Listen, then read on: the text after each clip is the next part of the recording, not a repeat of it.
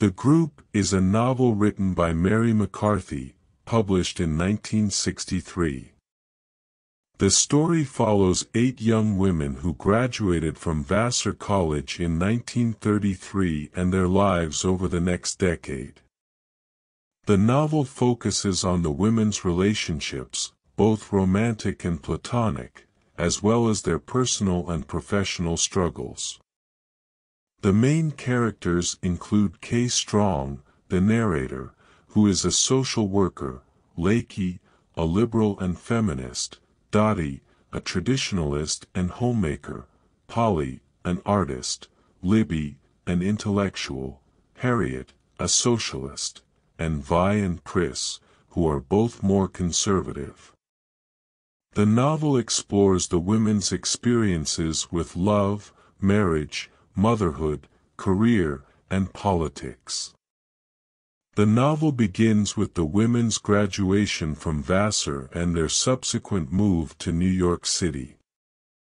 They all live together in a large apartment and form a close-knit group.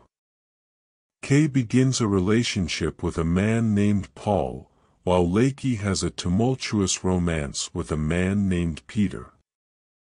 Dottie gets engaged to a man named Ken, and Polly starts dating a man named Ned.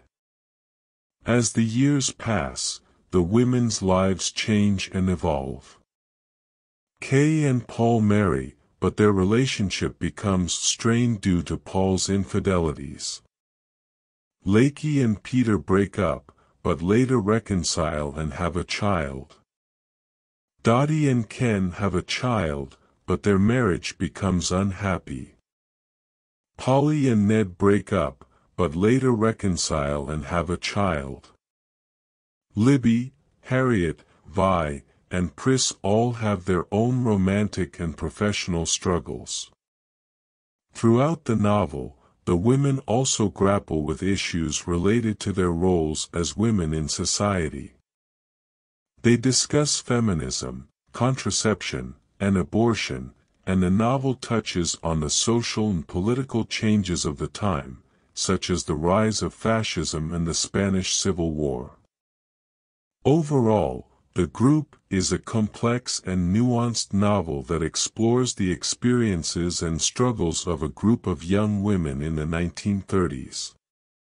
It delves into themes of love, friendship, motherhood, career, politics, and the changing roles of women in society.